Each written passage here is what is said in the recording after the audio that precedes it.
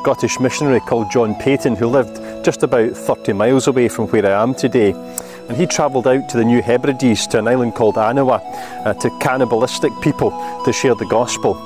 His ministry was difficult and previous missionaries that had arrived in those islands were promptly killed and eaten. Aniwa had no fresh water supply and John decided to do something that no one else had ever done. He digged a well. To be honest, as the islanders watched him, they just thought it was yet another bizarre idea that John had, just like the gospel stories of a God who loved them and sent his son to die for them. Well, at 30 foot he hit water and to the astonishment uh, of the islanders, uh, he was proved right. It turned out many years later that that was the only spot in the whole of the island where you could have digged a well and found water. By the end of uh, Paton's ministry there uh, in Papua New Guinea, almost all of the island had professed faith in Jesus